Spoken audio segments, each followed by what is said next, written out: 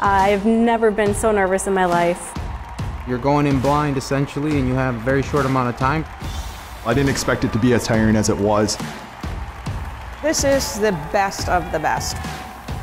This really is the Super Bowl of the craft.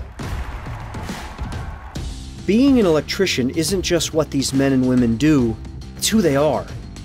Sponsored by Ideal Industries, the Ideal National Championship was created to show the world the pride and passion that goes into making a champion.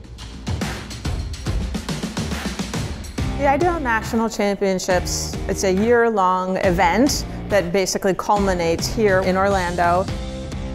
Electricians have supported Ideal for 100 years, and this is our way of giving back and recognizing the tradesperson.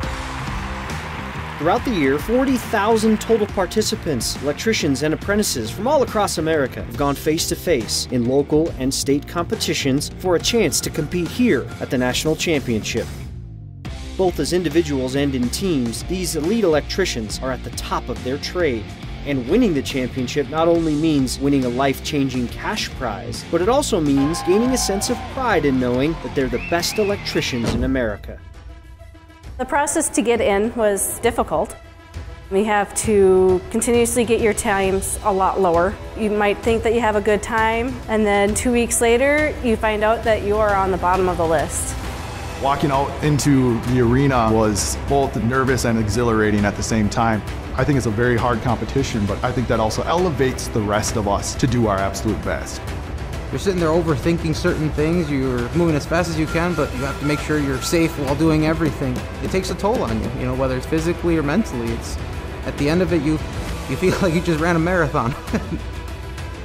just because somebody finishes first does not mean that they're going to win the competition.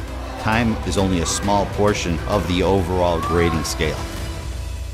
It isn't all about speed, though. It's also about accuracy and safety.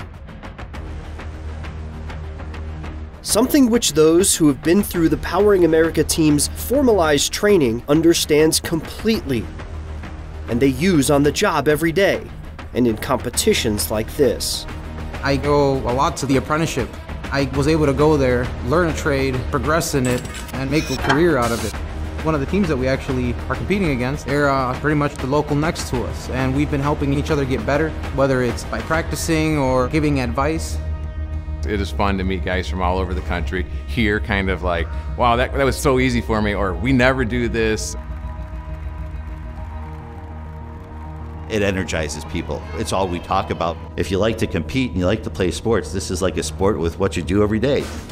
The Powering America team of NECA and the IBEW pride themselves on consistency, the constant quality necessary to build our hospitals and high rises, schools, stadiums, and homes. The commitment to excellence that's required to make your building safe, secure, and efficient is what union members competing here today prove every day working for their NECA contractor.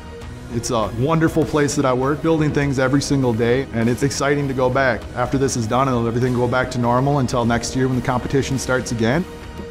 I'm not here just because I'm fast. I like to do things correctly. I pride myself in the quality work I can do.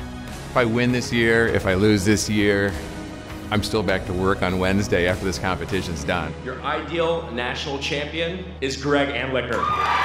That's all for this edition. Be sure to follow us on social media for behind the scenes extras and industry information.